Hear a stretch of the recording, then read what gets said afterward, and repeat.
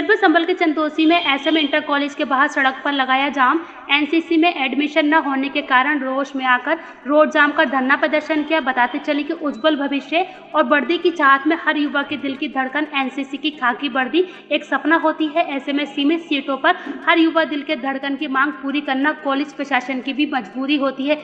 इसी रोष के चलते युवाओं ने रोड जाम कर धरना प्रदर्शन करने का प्रयास किया, जिसे कोतवाली पुलिस ने समय रहते समझा बुझाकर खुलवाया जाम। मेरा नाम हरिकृष्ण आप लोग सड़क पर जाम क्यों लगाए हुए हैं? सड़क पर जाम क्यों लगाया है? सर हम हमने जाम इसलिए लगाया है जो हमारी चौबीसवीं बटालियन है। उसने हमारी एज का सर्टेन सोलह साल कर दिया है जबकि ऐसा कहीं नहीं लिखा है।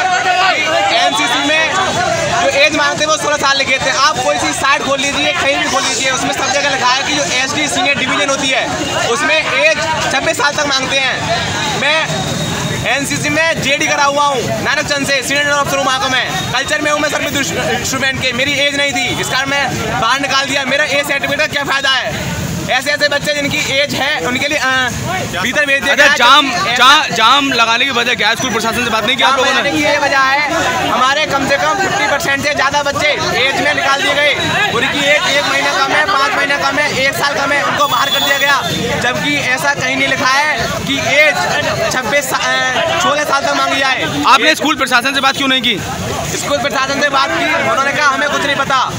सीओ यहाँ उन्होंने कहा बटालियन में जो कुछ आदेश आते हैं वहाँ के मान्य है। बटालियन में ये नियम कानून लागू कर दिया गया है कि जो एज है वो तुम्हारी 2006 से नीचे हो।